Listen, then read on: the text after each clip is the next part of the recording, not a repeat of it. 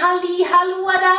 Vad kul att just du tittar idag när vi ska pyssla lite. Och jag sitter här och kollar på mitt certifikat, Pyssel 2.0. Och då är det så här att idag så ska vi göra någonting som ganska många där hemma kanske redan har testat på. Vi ska använda oss av lite nejlikor och en apelsin och då ska vi göra nejlika-apelsiner eller något sånt här. Det ska tydligen dofta väldigt gott. Och då ska man stoppa in de här nejlikorna i apelsinen.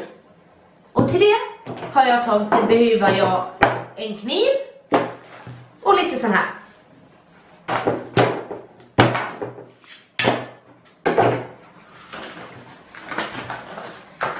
Tjoff!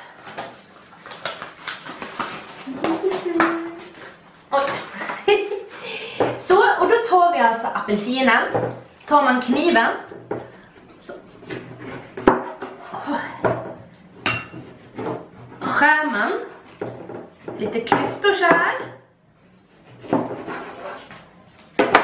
Så tror jag blir bra. Vi kan börja köra på här. Så. Men sådär. Det blir väl bra. Och då ska man alltså ta de här nejlikorna och stoppa in i apelsinen. Så. Så. Fint det blir va? Och sen så kan man alltså ta de här och lägga ut köksbordet, vardagsrumsbordet, toaletten kanske. Där man känner att man vill ha lite bättre doft så. Och så är det ju väldigt fint.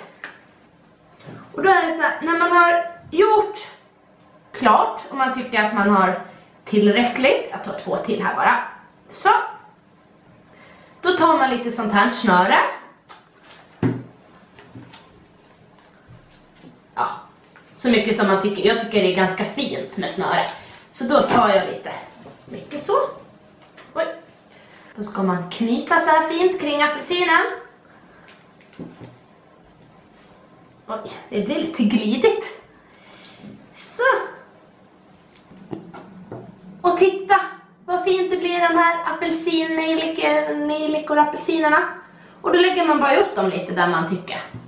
Så, här är mitt lilla får. Kan den få. Och så, alltså man skulle ju kunna fortsätta men jag tänker att jag vet en annan sak som är ganska god med apelsiner. Sådär! Och då har jag varit och hämtat ett litet glas. För då tänker jag så här, att när man har gjort klart sina apelsiner som doftar gott, då kan man ju vara lite svettig och man behöver påfyllnad av vätska.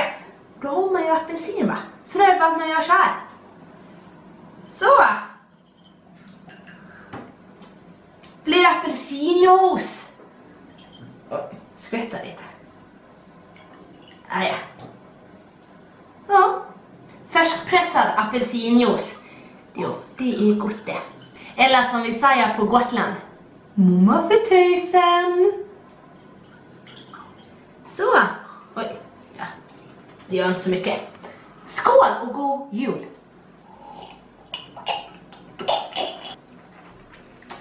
Mm. Mm. Jag håller på att glömma att säga det. Kom ihåg att gilla, kommentera och dela så kan du få en liten julklappis av mig.